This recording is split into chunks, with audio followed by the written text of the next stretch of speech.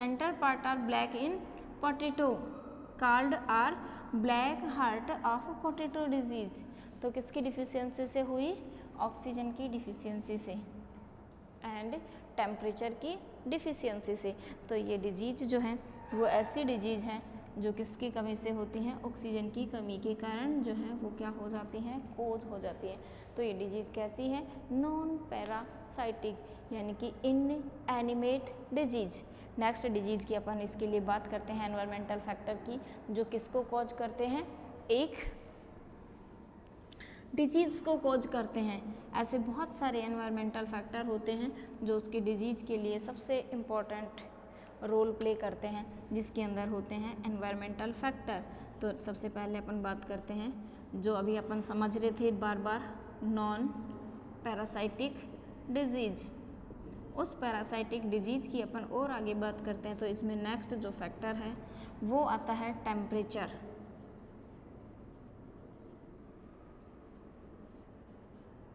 Temperature temperature सबने सुना ही होगा कि हर बॉडीज़ के लिए, हर एनिमल्स के लिए हर ह्यूमन बींग्स के लिए, हर प्लांट बॉडी के लिए एक पर्टिकुलर टेम्परेचर अगर सूटेबल है, तब तक तो plant body human body animal body सब क्या कर जाती हैं? सर्वाइव कर जाती हैं। लेकिन अगर टेम्परेचर उससे ज़्यादा बढ़ जाता है तो वो धीरे धीरे प्लांट बॉडी क्या करने लग जाती है? उसको टॉलरेट नहीं करती, उसके प्रति उसमें डिज़ीज़ कॉज हो जाती है। तो नॉर्मल एवरेज टेम्परेचर की अगर हम बात करते हैं तो one degree to forty degree centigrade temperature are optimum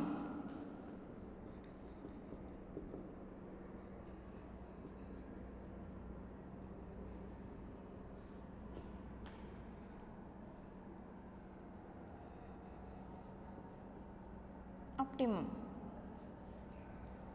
1 degree to 40 degree centigrade temperature optimum for plant body.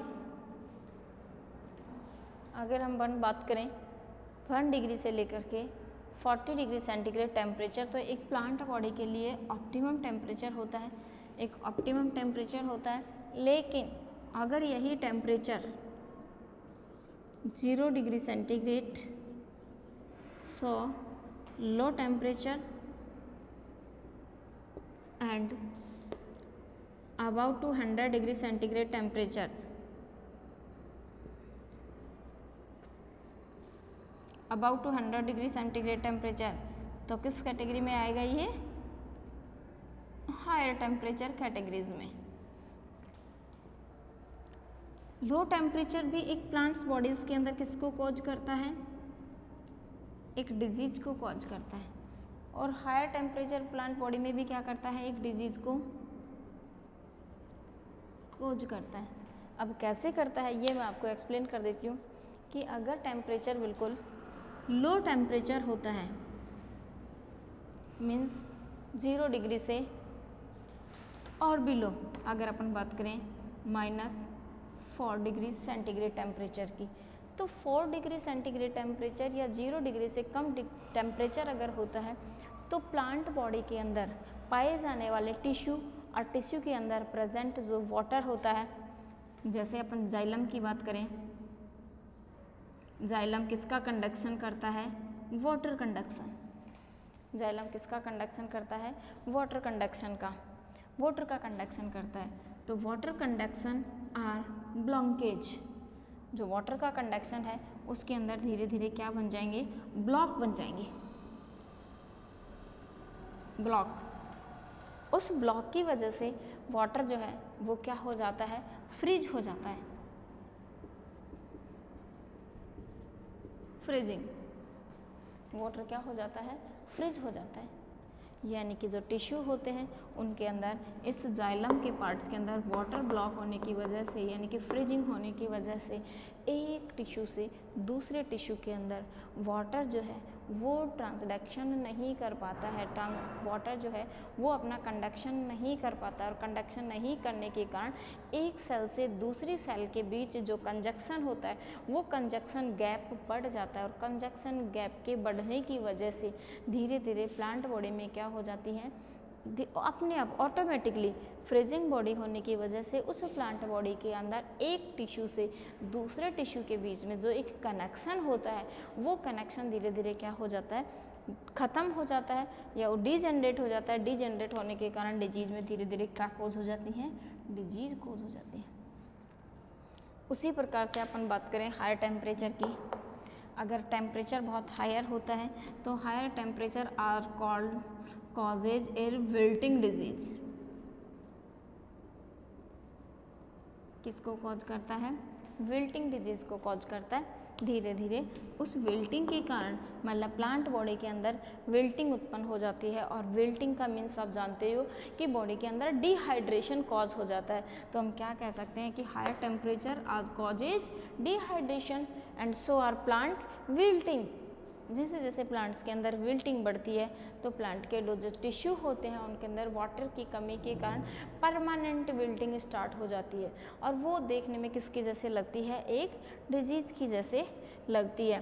तो जो टेम्परेचर है, वापस अपन इसी टॉपिक पे आ जाते हैं एक बार, कि नॉन जो पैथोजन है, वो टू टाइप्स के होते हैं।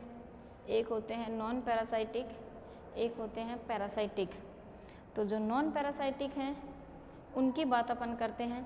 तो non parasitic without pathogen are cause disease first factor are temperature and next factors की बात अपन बात करें तो ऑक्सीजन जिसके लिए मैंने आपको थोड़ा सा एक्सप्लेन कर दिया।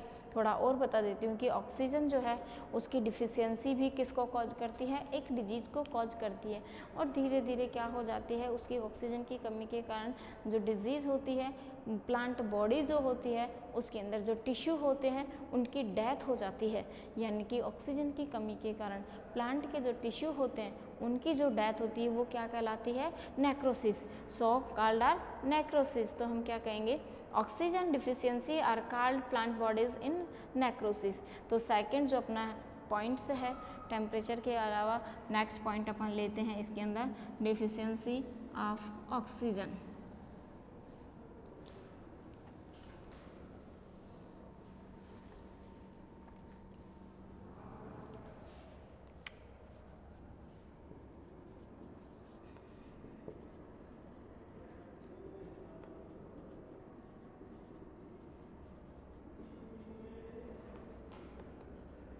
ऑक्सीजन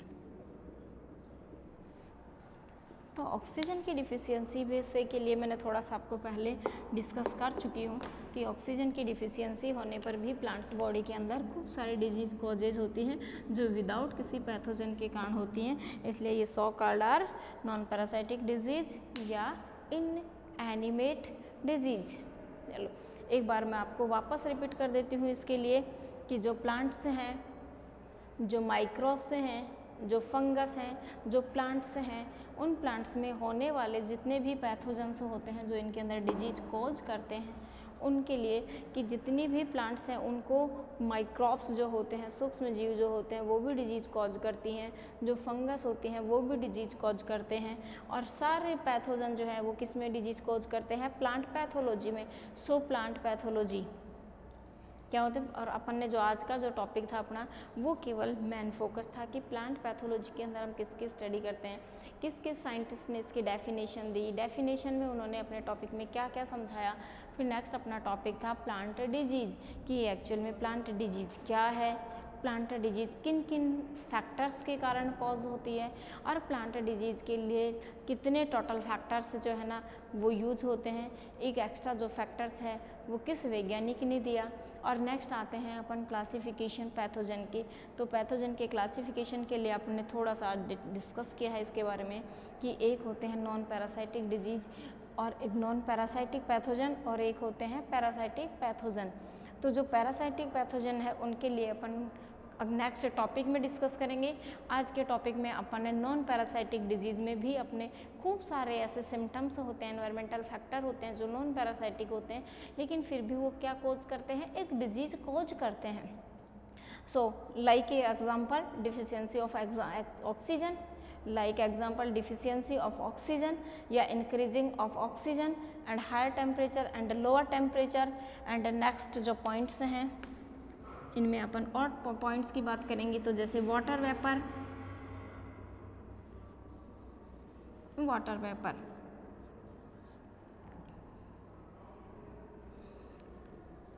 zinc है मैग्नीशियम है कैल्शियम है पोटेशियम है नाइट्रोजन है एंड मैग्नीज है. ये सारे जो पैथोजन्स हैं वो कैसे हैं? नॉन पैरासाइटिक हैं। तो इन सब की डिफिशियंसी से भी या इनकी इफ़िशियंसी से भी क्या कॉज होती हैं? नॉन पैरासाइटिक डिज़ीज़ जो हैं, वो कॉज होती है। Non parasitic disease non parasitic disease इन पैथोजेंस के द्वारा, जो नॉन पैरासाइटिक पैथोजेंस हैं, उनके द्वारा कॉज होती है। अपन इसके अंदर एक टॉपिक और डिटेल से ले लेते हैं। जैसे वाटर वेपर वाटर वेपर भी आपने नाम सुना होगा कि वाटर वेपर भी जो है, वो एक ऐसा पॉइंट्स है जिसके द्वारा क्या कोज होती है? डिज़ीज़ कॉज होती है। वाटर वेपर के रूप में अपन मॉइस्चर की बात भी कर सकते हैं। वाटर वेपर में ही मॉइस्चर वाटर से रिलेटेड जितने भी फैक्टर हैं, वो सारे किसमें आएँगे, इसी के साथ अपन जैसे मॉइस्चर मॉइस्चर जब बढ़ जाती है, तब भी डिज़ीज़ कॉज होती है, जैसे फंगस जैसे अपन विंटर सीज़न की बात करें तो विंटर सीज़न में जैसे ही फॉग का स्टार्ट सीज़न स्टार्ट होता है तो फॉग बढ़ने से जितने भी वीट होती हैं बारले होती हैं, या मस्टर्ड होती हैं, या फिर अपन बात करें साइसर की तो इनमें से सबसे इंपॉर्टेंट है जैसे ब्रेसिकेसी फैमिली में से मस्टर्ड जैसे पोएसी फैमिली में से वीट और बार्ले ये ऐसे प्लांट्स होते हैं जिनके ऊपर इस वाटर वेपर के कारण क्या कॉज हो जाती है डिज़ीज़ कॉज हो जाती है। जैसे अपन आगे इसके बारे में बहुत डिटेल से स्टडी करेंगे, लेकिन आपको मैं यहाँ एक एग्ज़ाम्पल के फॉर्म में बता रही हूँ कि जैसे अपन बात करें वीट की। और वीट में डिज़ीज़ कॉज होती है रस्ट डिज़ीज़ और रस्ट अपने आप में क्या है? एक फंजाई तो जो फंगस है, वो भी क्या डिज़ीज़ को कॉज करती है? वीट के अंदर वाटर वेपर के कारण, जो एक मॉइस्चर के फॉर्म में है। तो मॉइस्चर के कारण उस फंगस पे क्या कॉज हो जाती हैं, उस फंगस से क्या कॉज हो जाती हैं? रस्ट डिज़ीज़ कॉज हो जाती है। चलो, आज के टॉपिक के अपन इतना ही बहुत है। नेक्स्ट अपन नेक्स्ट क्लास में देखते हैं कि पैरासाइटिक डिज़ीज़ क्या होते हैं। एक तरीके से इंपॉर्टेंट टॉपिक है, एक तरीके से एक्साइटेड टॉपिक भी है, क्योंकि आप सब लोग इस चीज़ को देखते हो कि पैथो सबने नाम ही सुना है कि ये रोग है, वो रोग है, लेकिन कभी कोई ये जानने की कोशिश नहीं करता कि कौन सा रोग किसके कारण कॉज होता है। तो चलो, अपन अगले वाले टॉपिक में जो है इसको डिसाइड वो करेंगे क्लियर करेंगे कि नॉन पैरासाइटिक और पैरासाइटिक दोनों में क्या डिफ्रेंसिएशन है और किस तरीके से वो डिज़ीज़ कॉज करते हैं। थैंक्स आज के टॉपिक के लिए।